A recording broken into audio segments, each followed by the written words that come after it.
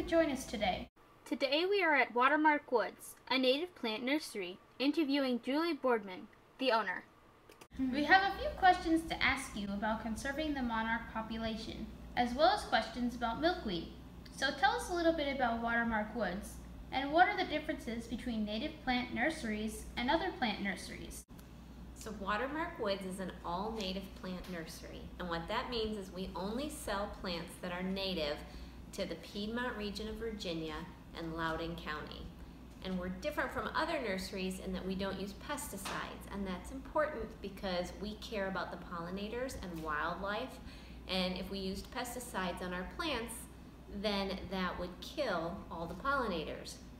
So we're very careful about chemicals on our property as well as in our nursery.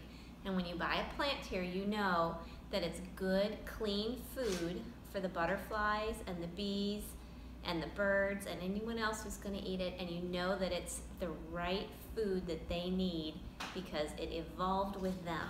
For any beginners, can you tell us why milkweed is vital for the monarchs?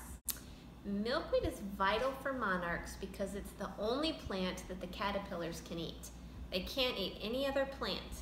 So if there's no milkweed for those caterpillars to eat, then there's no food for them. And so then you can't make new monarchs if you don't have milkweed. What types of milkweed grow here?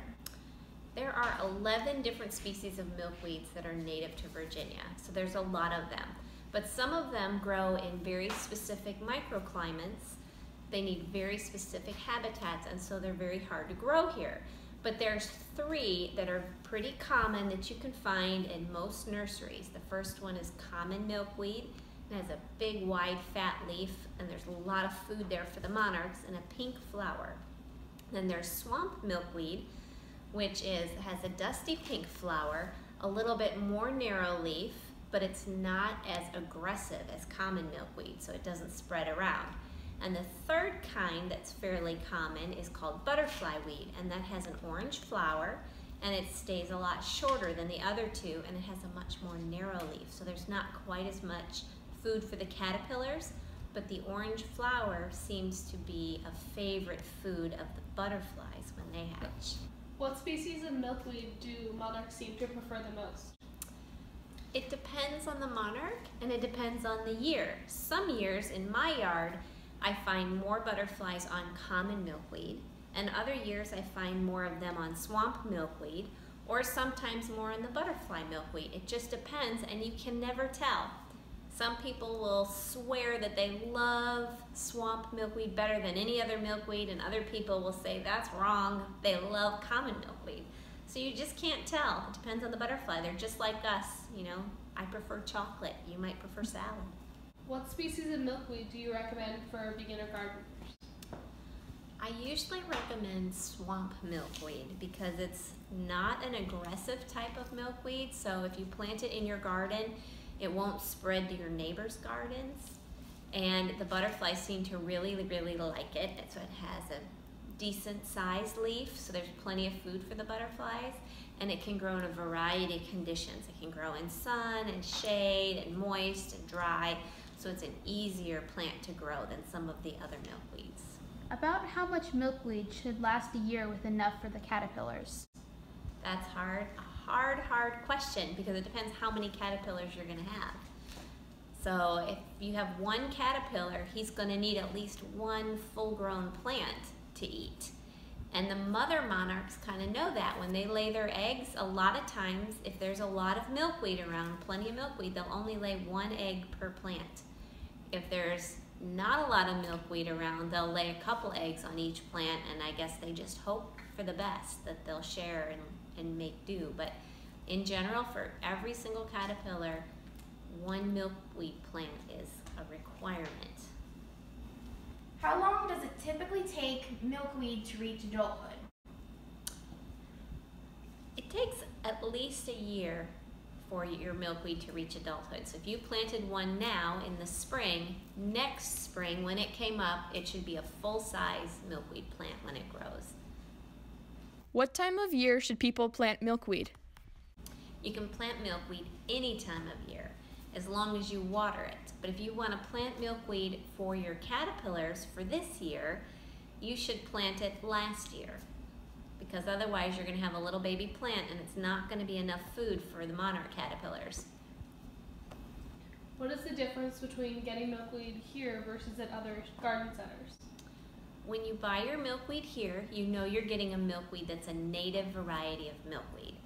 If you buy it somewhere else, you don't know if it's native or not, and you don't know if they've treated it with any chemicals. And that's important because if you have chemicals on your milkweed, it could kill the caterpillars. Likewise, if you're buying a plant that may not be native to here, for example, a lot of garden centers sell a tropical version of milkweed and that doesn't have the right fat and sugar quality that the monarchs need to make their migrations. So what they think happens is that the butterflies eat this tropical milkweed and then they don't have enough energy to make it all the way to Mexico.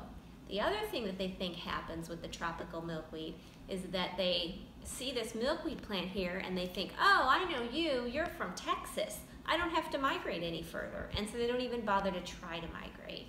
So it's very important to know what you're getting and the quality of what you're getting. Are there any cautions people should know about milkweed? I don't know if it's toxic to pets, but I do know that some milkweeds are toxic to uh, livestock, like horses and goats and cows. And uh, what I've read somewhere, and I don't know if it's true or not, is that the thinner the leaf of the milkweed, the more toxic it can be to animals. And I've heard rumors that milkweed can kill horses, not just make them sick. So it's important to know what animals are around before you plant milkweed. Are there any other tips you'd like to give on planting and gardening with milkweed? Well, when you're planning to plant milkweed, just like any other plant, you should research the place and what the milkweed needs. You should know what kind of light there is and how moist the soil is. You should also, when you plant milkweed, you just dump the pot out and don't disturb the roots because milkweed has a very fleshy root that doesn't like to be disturbed. So you just take it out of the pot and plop it right in the ground. And when you're doing that, be careful not to get any of that milky sap on your hands or your face or your eyes because some people can have an allergic reaction to it and it can be very irritating if you get it into your eyes. We asked other beginner gardeners about their questions through Facebook, and here were some of their responses that they wanted to know more about. What are good nectar plants to have along with milkweed? There's a lot of great nectar plants for milkweeds, but some of the important ones are those late season nectar plants that flower in the fall, like asters and goldenrod, because those plants flower right before the monarchs make their migration, and so it's very important to have those available to them. But any plant with a flower all summer and spring long can be very beneficial to the monarchs. We've heard that milkweed gets lots of pests like aphids. Are there any natural ways to control these pests as an alternative to pesticides? Well, aphids are just part of the milkweed community, and sometimes you have to learn to live with those. Some people like to squish their aphids. Uh, they think that squishing them kind of releases the scent of aphids and then the natural predator of the aphids will come and help clean up the rest of them. That natural predator is the ladybug. So if you squish the aphids, the ladybugs may come and help you with your problems. Other people like to use a plant that will repel aphids. Um, the tobacco plant will actually repel aphids. It's not a native plant, so I don't plant it in my garden, but I will keep it in a pot next to my milkweed plant, and that seems to help a lot. And you can also just use a, a hose and spray the aphids off of your plants, but then you have to be careful that you don't spray off any eggs. Thank you so much for your time. You've been very helpful. Before we go, is there anything else you want to say about these plants? I think everybody should have milkweed in their garden so that they can enjoy the monarchs and any little bit that you do, even if it's just one milkweed plant, it will make a difference.